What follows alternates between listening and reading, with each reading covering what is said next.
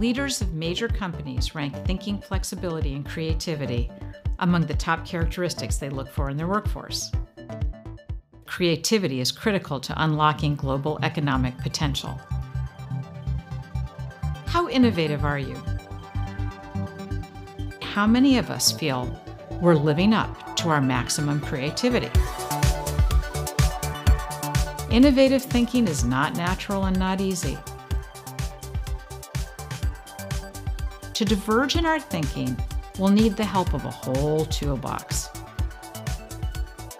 Like hundreds of my former students, you're soon to become trained in a method that will make you a more skilled original thinker, amazing yourself, and maybe even surprising the world.